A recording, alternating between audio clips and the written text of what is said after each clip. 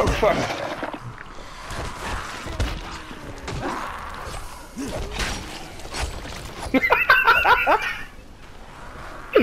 I just threw two zombies at you and just hacked them like you hit them with a baseball bat.